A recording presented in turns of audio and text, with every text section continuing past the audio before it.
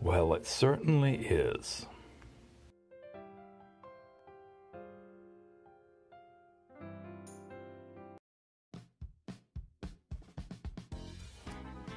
Welcome. I'm Hawaiian Shirt Pappa. Sometimes with others, I visit a variety of antique, vintage, and thrift shops within southern Ontario. Sometimes we don't get anything. Come tour with me vicariously. Hello and welcome to another tour by Hawaiian Shirt Pappa. This one's of the Salvation Army thrift store on Dundas Street East because it's Mississauga, which is near Dixie. Uh, so this is our second one in Mississauga, but first visit to this one. Do it today. You've done enough mistakes for. Haha, I just made a mistake. They had this uh, interesting clock. I've seen a couple of these recently in very different parts of the province. Blue vase.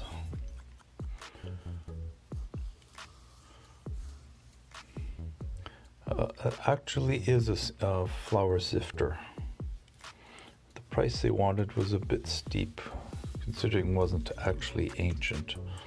It was just made with that motif. So this is another one of the stores where the uh, hard goods are on top of the, the uh, clothing racks. Here's a selection of shoes they have. It's a fairly large store. They've got a large section for cl- clothing as you can see, this big selection of shoes. There's a good sized selection of um, different objects. Not only do they have the hard goods on top of the shelves, they also have some shelving that's filled with them as well.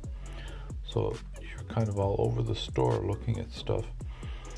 And even into parts of the store you may not have normally have gone because of that's not what you're shopping for. Here's your uh, piece of art that had that saying. So quite a bit of art there as well. Not a huge amount. A lot of it's up on the wall as, as, as is usual for a Salvation Army's thrift store. So here we are going through the store again. And in part, I'm going through some of this because of the. No, in this case, I'm going for the the front showcases. Chose a time when there was no one else up in that area. Some nice, nice items that were on offer. These are the more precious ones, so they keep them in the uh, showcase probably because they're just small items they're easy to people for to walk away with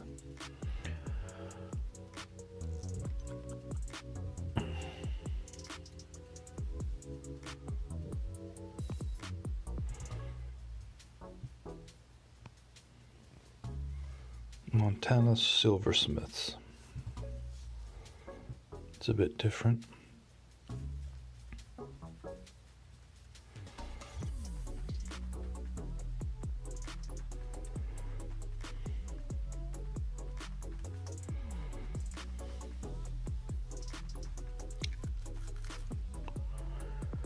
Some more showcase items. So it's not just jewelry, these are also in showcases. Mm, previously, they had been uh, showcases for items that would be at an auction. I like this clock. Price I didn't like, but I, I like the clock. She shows the mechanism at $30. Well, it wasn't terrible price, but I, I wasn't looking for anything like that at the time. Star Trek, Inbox, Borg. And this was a piece of art, if I remember right, or, or a musical instrument standing on its end.